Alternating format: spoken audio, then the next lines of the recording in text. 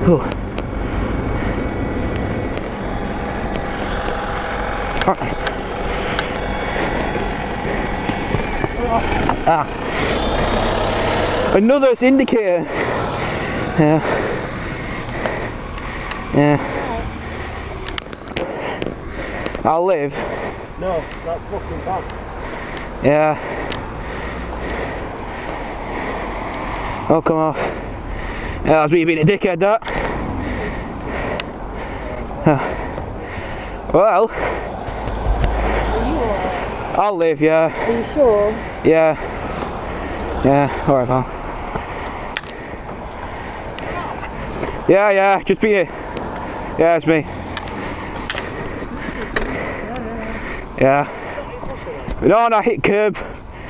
I, I, I saw the bus pulling out into two lanes, put my brakes on, I just slid into the curb. I was going too far. Yeah, I'm fine. The bike, bike will live. Cheers for stopping, mate. Cheers. Fine, Dad. Ah. Let me ring my dad. Well, at least it was the same side again. Right, so uh, here we are, aftermath damage. Uh, that's uh, gonna need replacing or Street Fighter conversion.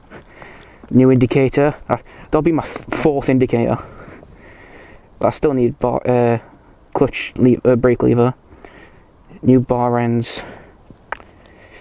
Liquid coming from radiator, but we don't know where from. Uh, heat the heat guard took most of the damage on the exhaust. The, yeah, the heat shield took most of the scratch.